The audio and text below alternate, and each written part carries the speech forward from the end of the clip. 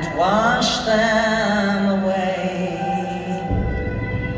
Father to mother and all of the children, such great tears, such